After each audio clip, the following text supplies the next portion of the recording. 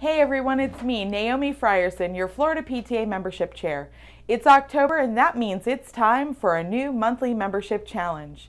This month, for our PTA units, we want to see how many grandparents you can add to your membership rolls.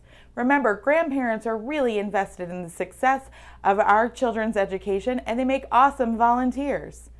For your PTSAs, we'd like to see how many students you can add and help them find their voice in advocating for their education.